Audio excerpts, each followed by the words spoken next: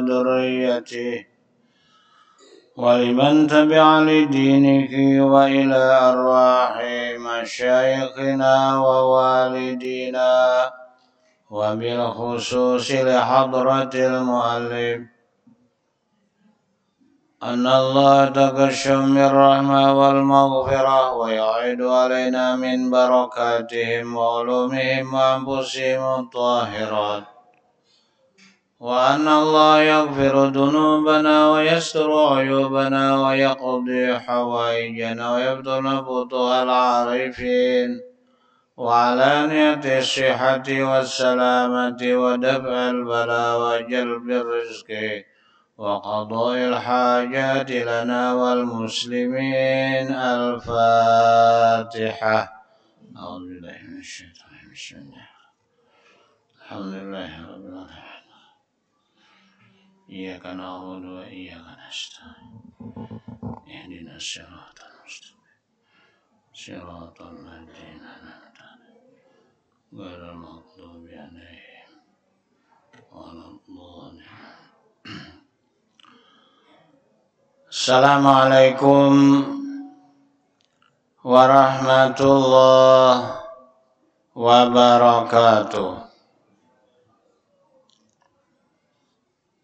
بسم الله الرحمن الرحيم. الحمد لله رب العالمين. والصلاة والسلام على أشرف الأنبياء والمرسلين. سيدنا وحبيبنا وشفيعنا محمد وعلى آله وصحبه أجمعين. أما بعد. قال المصنف رحمه الله تعالى ونفعنا به وبجميع علومه في الدارين. آمين. قال النبي عليه الصلاة والسلام يا علي وللأحمق ثلاث علامات التهاون في فرائض الله وكسرة الكلام غير ذكر الله والطعن بالله Hadirin jemaah salat maghrib rahimakumullah Marilah bersama kita menghaturkan puji dan syukur kita kehadirat Allah atas limpahan beberapa rahmat kepada kita. Semoga salawat dan salam senantiasa tercurah ke pangkuan junjungan kita Nabi besar Muhammad sallallahu alaihi wasallam.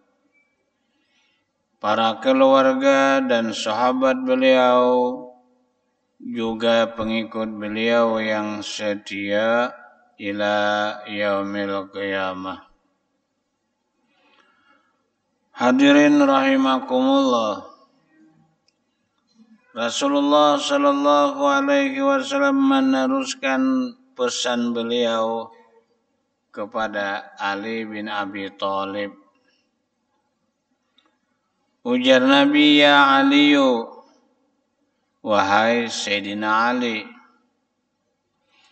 walil ahmaqi salasu alamatin. Bagi orang bodoh, kada pintar, itu ada alamatnya tiga macam.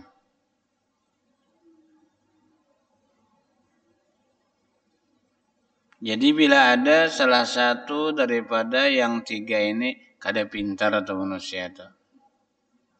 Siapakah? Siapakah? Bila ada alamat yang tiga ini kada pintar. Padahal kita itu bagus jadi orang pintar. Pertama ujar Nabi kita Muhammad sallallahu alaihi wasallam at-tahawunu fi faraidillah. Orang kada pintar itu kurang menghargai dengan kewajiban-kewajiban terhadap Allah Subhanahu wa taala. Padahal kalau kita mengerjakan kewajiban itu ada manfaat. Manfaatnya itu bukan untuk Allah, tetapi untuk kita yang mengerjakan di dalam ilmu akidah, Allah Subhanahu wa Ta'ala itu sama sekali tidak mengambil manfaat. Bahasa Arabnya tanazzuhu ta'ala anil agradi fi ab'alihi wa ahkamihi. Maha suci Allah Subhanahu wa taala mengambil manfaat pada segala yang diciptakan oleh Allah dan pada segala hukum-hukum yang dijadikan oleh Allah.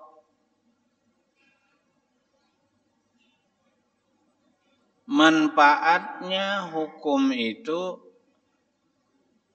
kepada hamba-hamba Allah. Lalu ada istilah sekedar kita membesarkan Allah, menghormati Allah. Sekedar itulah kita menghargai perintah Allah.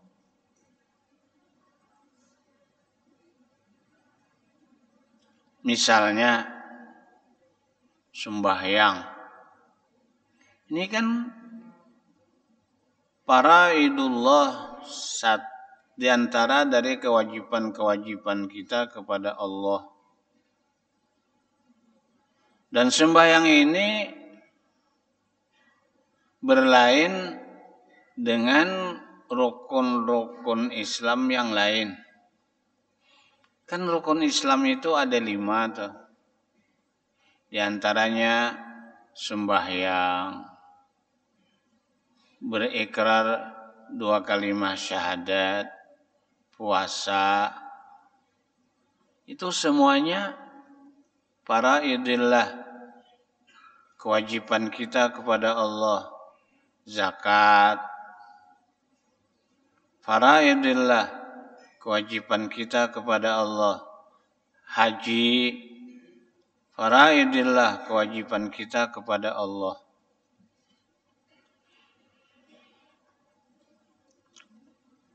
Lalu sembahyang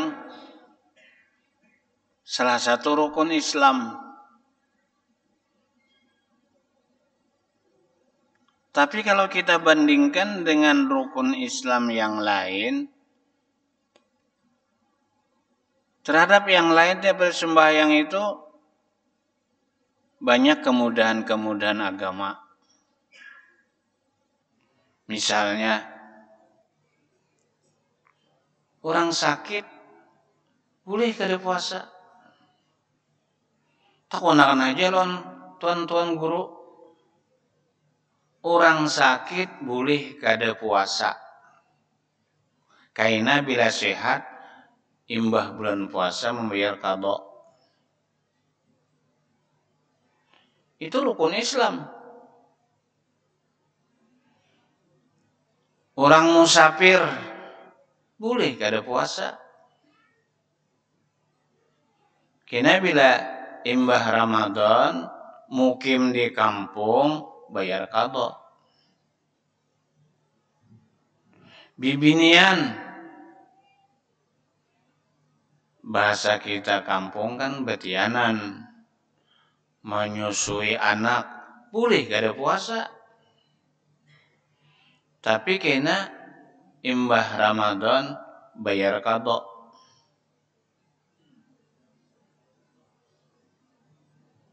Itu kelonggaran-kelonggaran hukum dalam rukun Islam puasa.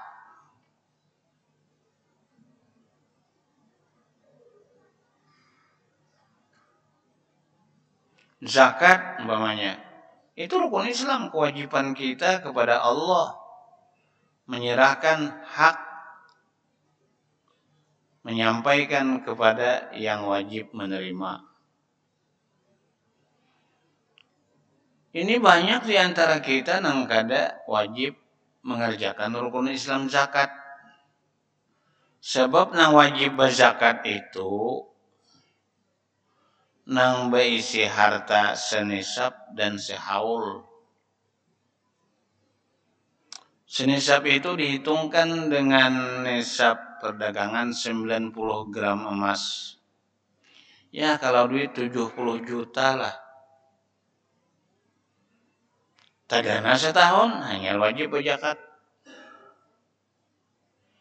Bila kada bisi duit sampai itu, kada tak amalakan kewajiban rukun Islam tuh. Apalagi haji, apalagi haji. Ini kan kita di negara kita ini dua tahun dah ketulak naik haji. Tahun ini masih dipertanggung jauh, dipertanggungkan oleh pemerintah. Cuman kebijakan pemerintah mengangkat biaya haji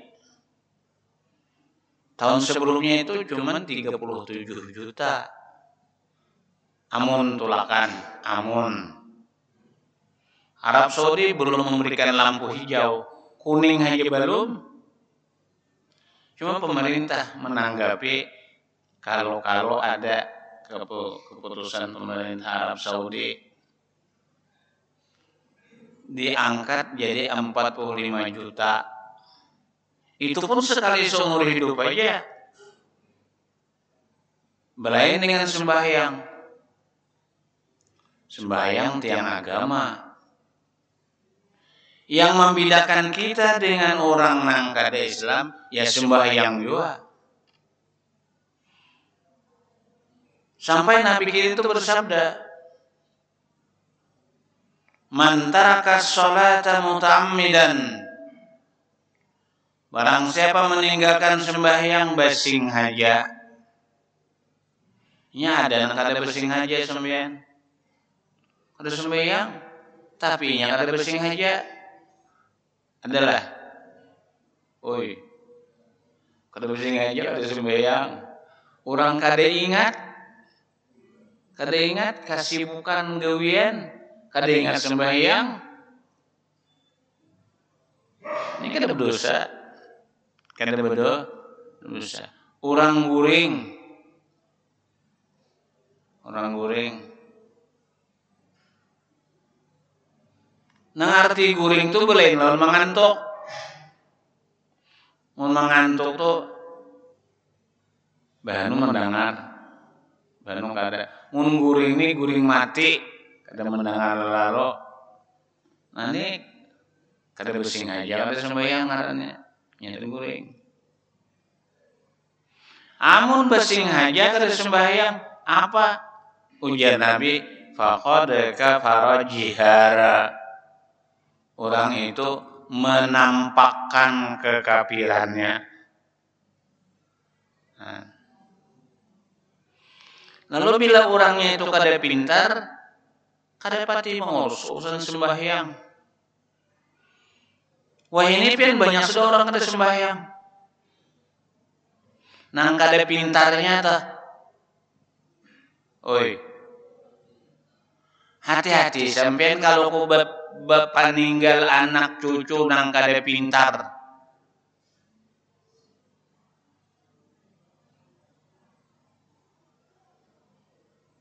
kita tahu-tahu di sembahyang. Nang kada sembahyang sudah banyak. Nang sembahyang kada paham banyak juga. Hmm. Sembahyang itu tiang aga, tiang agama. Kayaknya nanti bila pian mati, Tuhan kada menakuni berapa miliar besi duit, tidak. Kada ada hadisnya tuh menakuni berapa miliar besi duit, berapa buah besi rumah, tidak juga. Berapa ikung besi bine, tidak juga.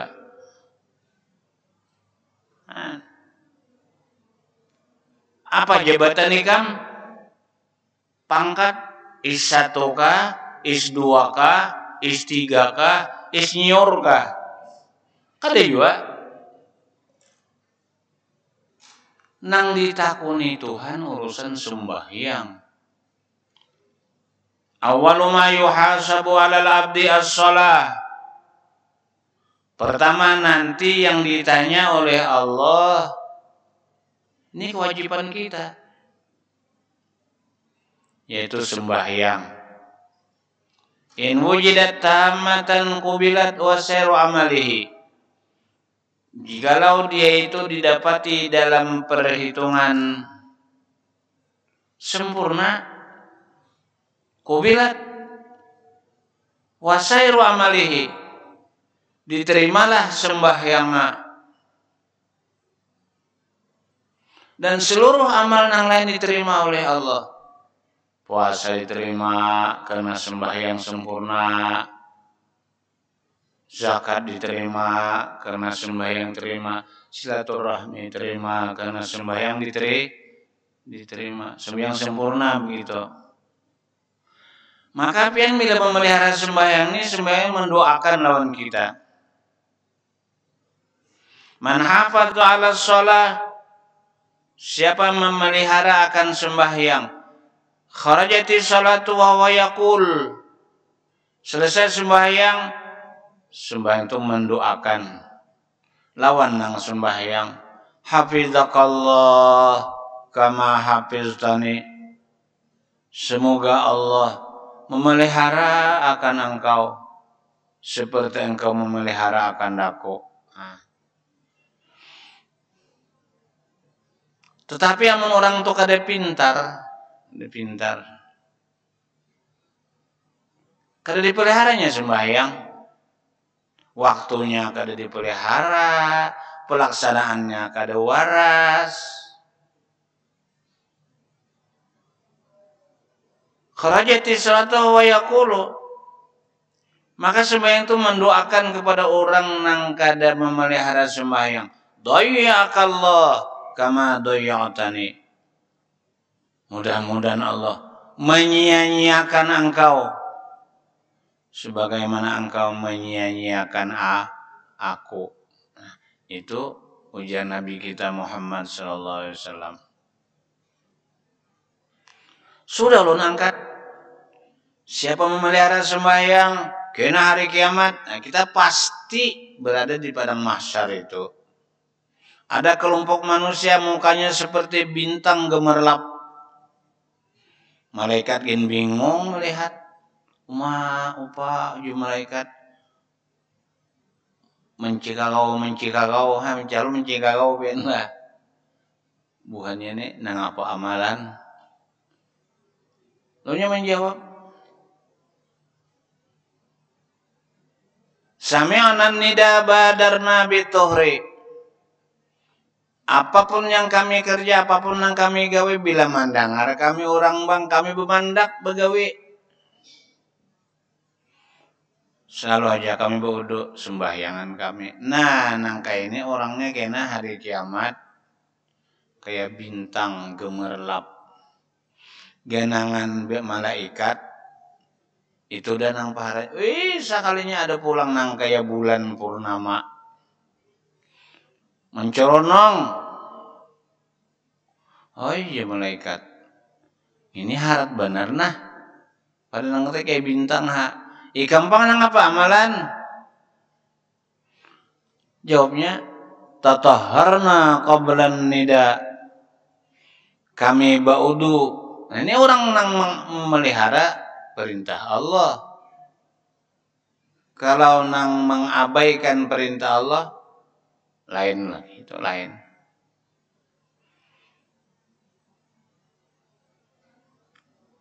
Kami baudo belum lagi orang bang nah, itu kayak bulan ini tak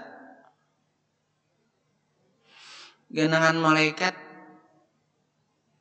ini pang sudah paharatnya oh lalu pulang nang kayak matahari silau umma ya malaikat harat benar nenek apa malaikat Sami'na nida wa nahnu julusuna fil. Kami menghadangi orang bang sudah i'tikaf di masjid. Mudahan kita masuk nih tak. Mudahan tak buat di dalam sami'na nida wa wa nahnu julusuna fil masajid. Kami menghadangi orang bang sudah duduk di masjid. Hei kita nih mulai maghrib sampai isya sampai isya mahadang bang isya duduk etikab di masjid ditambah lagi dengan mendengari pesan-pesan agama pesan-pesan agama. Nah ada nang kayak bintang kayak nak. Itu baik giringan amal perbuatannya. Ada nang kayak bulan purnama dan kayak matahari. Kita ada aja bakal. Terserah kita memilih. Mau untung mau rugi. Mau pintar mau bungol Tah. amun hendak nang kayak bintang. Bila orang bang hanya bodoh. Amun hendak nang kaya bulan. Baudu belum orang bang. Amun hendak nang kaya matahari. Mahadangi orang bang di masjid amun hendak kadap jangan sampai yang ada naik itu kah mbak kada ada kisah-kisah nang kada sembahyang itu tidak cahayanya sama sekali sama sekali. Nah, hadirin rahimakumullah. Lalu para idillah kewajiban kita kepada Allah terutama sembahyang. Nang lain pada sembahyang itu kewajiban kita kepada Allah banyak kayak juga. Bila ada tuh orang basic kawitan abah mama wajib kita menjaga peraturan undang-undang Allah, taat kepada abah, taat kepada mama. Baktilah, jangan durhaka. Sampai Nabi menjelaskan, amun hendak diridhoi Allah, cari keridhaan itu pada ibu bapak. Cari keridhaan pada orang tua, orang tua. riwayat ada pian orang ini besi mama aja lagi hidup abah meninggal dunia sudah lalu satu-satunya nang merawat mamanya inya Ih, sekalinya hendak tolak naik haji. Bagus. Mumpakat lawan kawan-kawan sudah.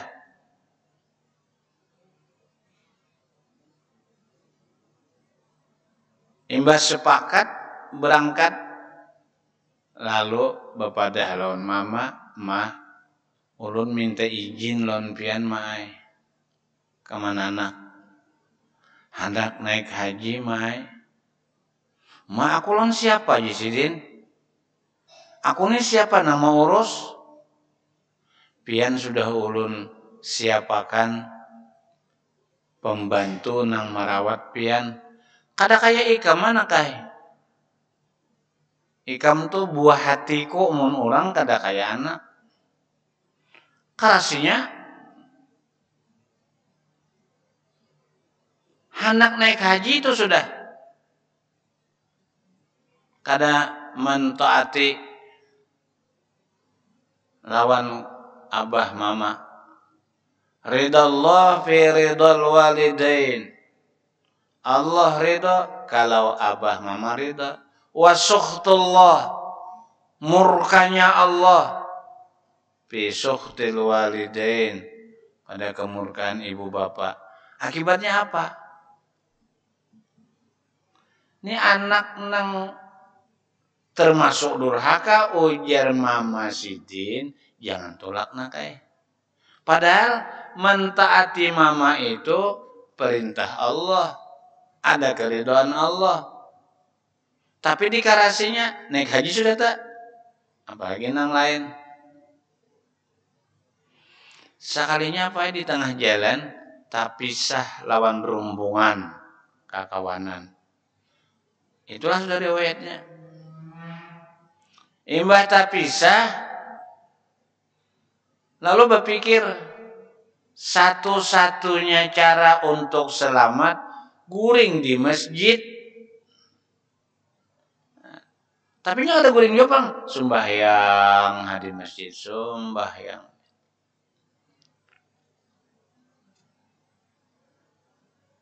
Petaka menimpa lawaninya. Orang di kampung nang parak masih itu kamalingan. Han, kamalingan. Di kampung orang buka ke belakang masjid. Rupanya belakang masjid nang kayak bahari tagah. Kalau masjid itu ini kayak masuk kita enak di lingkungan perumahan. Kada ada tagah-tagahnya. Masjid bahari kiri kanan muka belakang pak kuburan. Sini kan tadi lihat kubur. Oi ya. Dan kami itu masjid bahari pang sudah. Nang sudah betetengah abad masjidnya. Banyak kubur. Jadi maling ini buka ke belakang, ke belakang masjid. Kadang mencari lagi Tagah. Lalu nang mengapung maling ini menjinguk ke dalam masjid melihat orang sumbahyang. Nah, ujar. Itu malingnya sumbahyang. Lalu kena tarik orangnya, pukuli orang. Ini dosa lantaran kada maasi lawan kuitan. Naik haji itu sudah. Bah, sakit eh. Lalu ada yang berucap, inilah balasannya orang nang katuju ambil harta orang. Lalu ini berucap, jangan kaya itu Pak Ai menyambat. Inilah balasan orang nang kada mantaati kuitan. Sasak juga kupiah bangka kepala pukuli orang nah jangan disambat ulun maling.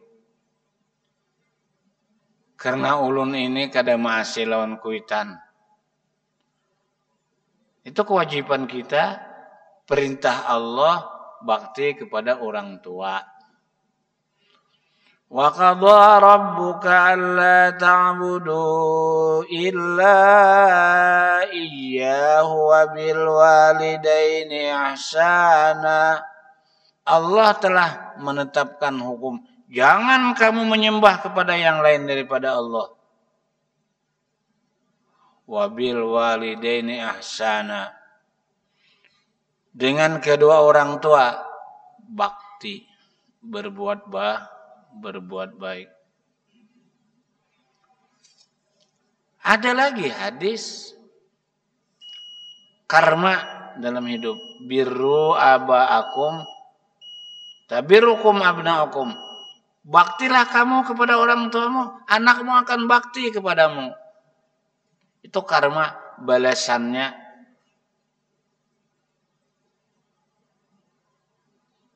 Terus kita jaga hukum-hukum Allah. Bila pintar, selamat. Bila kada pintar, kia, kiamat. Nah, itu. Pertama, at-tahawunu fi faraidillah. kedua wa kasratul kalami fi dik fi ghairi dzikrillah ada ibisi muntung ada ibisi ilat tapi kada digunakan membaca Quran. Kada digunakan beristighfar bersolawat. Hakun bapandir. Wa kasratul kalam fi ghairi zikrillah. Banyak pandir tapi kada berzikir kepada Allah. Nah itu tuh itu kada pintar juga ujar Nabi termasuk orang yang kada pintar yaitu bepandir bepandir aja tapi kada berzikir kepada Allah kepada Allah Dua tah. Pertama orang nang kada pintar itu mengabaikan perintah Allah. Kedua orang nang kada pintar itu banyak pandir bajikir kada. Ketiga wata'nu pillah. Wata'nu pillah ini artinya menyalahkan Tuhan. Tuhan disalahkannya. Ini kada pintar. Kenapa ikam kada sembahyang kada puasa? Ini sudah ketentuan Tuhan. Bungul. Ya bungul. Padahalnya Tuhan.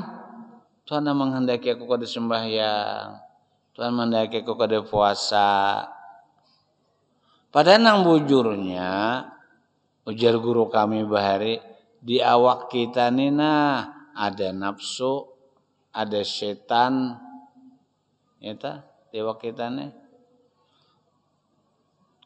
Nang kada hendak sembahyang itu kadanya Tuhan pang menghendaki inya nang hendak kada sembahyang. Nafsunya sebab hidupnya nyaman kada sembahyang pada sembahyang. Nang kada puasa tuh kadanya Tuhan pang menghendaki inya nang hendak kada kada kada puasa. Sebabnya nyaman kada puasa pada puasa. Ya ta? Ini kan bakal sembahyang tiwas Tuhan. Nah, meniwas lawan Tuhan. Orang diri seorang ditiwas nang diserahkan purunnya lawan Tuhan ujar kita ta. Nikmat Tuhan, kebaikan Tuhan diserap perintah Tuhan diabaikan, Tuhan disalahkan. Nah, itu kalau pintar adalah wata'nu billah dan yang ketiga menyalahkan Tuhan bisa. Pada semua nang sampai lawan kita itu Tuhan tuh sayang lawan kita. Sayang saya kita ingat aja lawan Allah Ta'ala mau aja sabar. Saya kita ingat aja lawan Tuhan mau aja syukur. Semua yang menimpa kepada kita semua jadi pahala asal diterima dengan iman kepada Allah Subhanahu wa taala. Kemudian ya Ali walil mahzuli salah alamatin. Orang nang hina hina di dunia, hina di akhirat. Tiga itu alamatnya. Nang hari ini, nang malam ini, orang nang kada pintar itu tiga alamatnya. Pertama, mengabaikan kewajiban kepada Allah. Kedua, banyak bapandir pada bajikir. Kan kita. Nang ketiga, maniwas lawan Tuhan, menyalahkan Allah. Mudah naik kita sehat berataan, mudahan panjang umur, dapat hidayah. Minggu kaina kita berdapat pulang untuk meneruskan pesan Nabi kepada Ali, yaitu bicara tentang orang nang dihinakan Allah. Kayak apa? Alamannya kayak apa? Tiga juga Nah apa-apa bro, insya Allah minggu dudi karena Isa sudah sampai. Demikian lebih kurang mohon maaf. Wallahu muwaffiq li aqwamit thoriq. Billahi wal hidayah.